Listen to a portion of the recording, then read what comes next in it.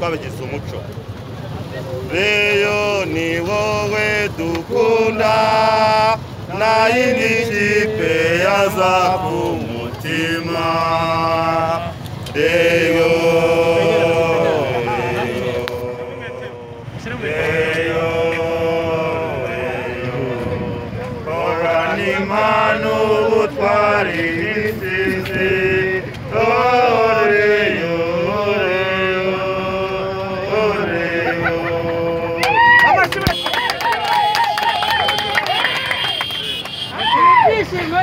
ni iby'iki mu by'ukuri niki kibashimishije ibyishimo nk'ibi ngibi urebye ukuntu biba bimeze ntabwo ware- ware- wareka kwishima.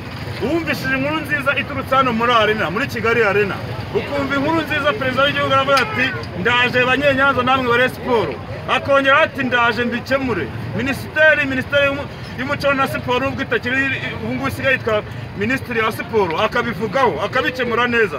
Ubu ngubu nawe uri umunyarwanda aho uri wakwishima. Nk'ubu ngubu ubu twebwe impamvu du- mudusanze hano ni uko twishimye kandi twishimiye ikintu twumvishije mu kanya gatoya. Ubundi baravuga ngo bumu yaripuka babwire imana. Nkaba nitwa boringo sankara igikambwe igikanu cy'imfizi intare zibona zigahunga ibikona bigakwira imitwaro nkaba ngira ngo bamenyeshe ko twari tumaze iminsi dufite ikibazo cya korona ari rusange mu isi yose. Ariko korona twari twariteye nk'abariyo ndabona igisubizo cyabonetse. Na hano rero twagikuye twagikuye muri minisiteri tugikura muri rgb tugikura muri ferwafa.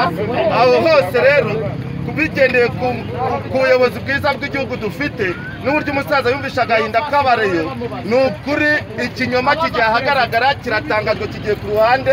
Bityo rero twebwe nk'abareyo ntitwashakaga kumva ko twahora dufite agahinda n'ipfunwe ryo kumva ko twitwa abari kubera sadati sinatinya kumuvuga ko ni umuyobozi w'ikinyoma yaraje twihishamo ye ku buryo na n'isansire nabona umwanya wo kumva ko sadati yavuyeho. Ahubwo ngenda nageze ikirego mu- nzego zibishinzwe.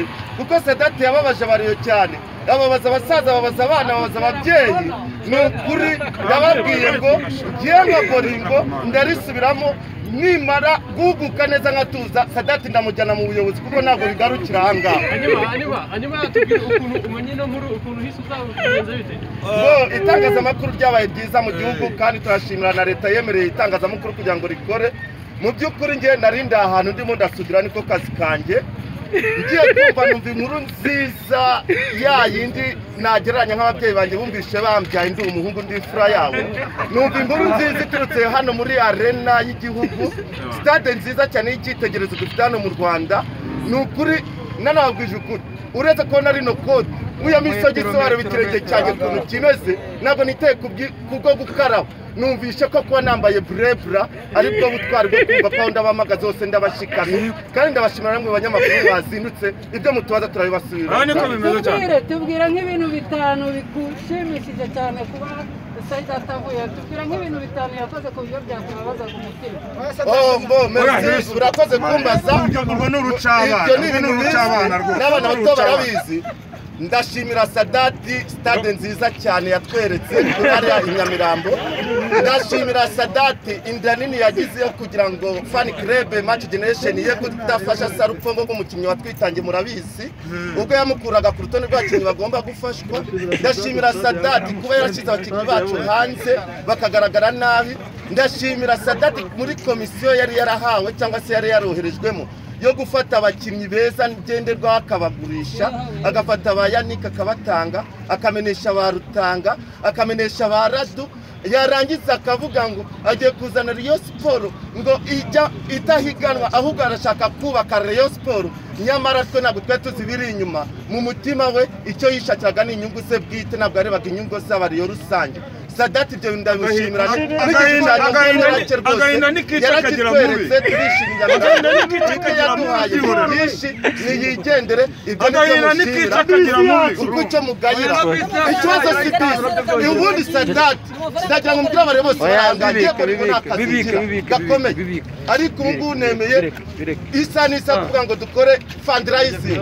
Ndashyiraho vemiri zanjye ahubwo nibashaka bashyiraho na konti noneho barebe uburyo y'amafaranga Naye mkeka diziwi akajya kurega za sikoro akarega abandi bafatanyabikorwa yiyibagije ko nawe yaje nk'umufatanyabikorwa ibyo akabikingira ikibaba ibyo byose byarimo ubujyarya no kugira ngo yikore bizinesi acuruze ariko imana ibonye ko reyo siporo atari iyo gucururizwamo cyangwa se ngo sadata yizamukiremo mu bwo ku nyungu ze bwite hanyuma reka n'uyu atubwiye nawe uko wabyakiriye Nkunda Sadate mace, ni- nkunda mace, nkunda mace. murakoze cyane International. banyita nkunda mace w'ikirinda wa kirinda International. ngeweho yarangeze habe yirirwaga neza abantu bakoresha imbuga nkoranyambaga ba- ba- baziyitirira birirwa banuka banuka ngo turi mu ishyamba ngo turi mu ki? Ubu ngubu imana ubundi ubundi imana ikwicazanya n'ibikomangoma urumva?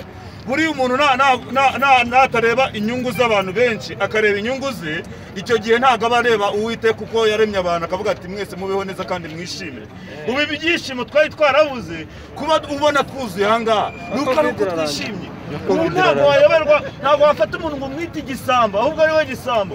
Ubu ni gute wakwibagirwa ibyishimo twagize? Ikipe ikajya mu matsinda ikipe ikajya muri kimwe cya kane imihanda yose muzabaze n'abamotari. Ababyeyi bagafata iby'iburyo ukareba ibintu abantu bakoze ukabitesha agaciro n'ibiki make, nkunda turababaye. Reka nongere mbikubwire.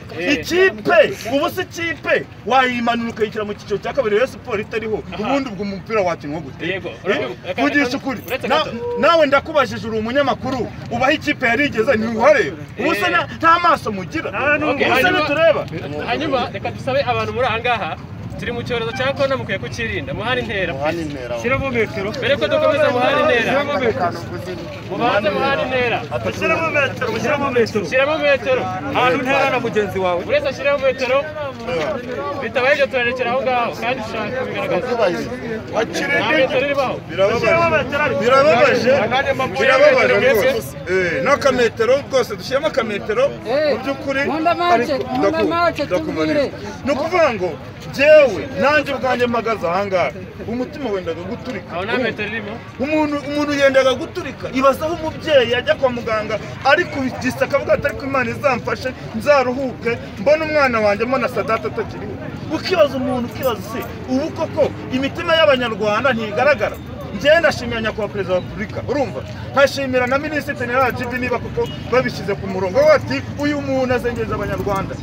Ubundi ni gute umuntu aba aru- aruta korona abantu ba- akaruta korona epizode epizode epizode urumva atari ikibazo kuko ni ikibazo gikomeye. Reka twakira n'undi muntu ufite ikarita ya rayon ndakubwiza Rengu. ukuri ubu ngubu agahinda ubu Banamo ubajije aba bantu bose ureba banamo kasike gaswe birababajije cyane.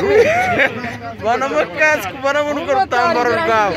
Mubaze nta motari ibyo bintu byose umuntu avuze yavuga byinshi. Umuntu avuze yavuga byinshi. Ariko imana ishimwe rwose.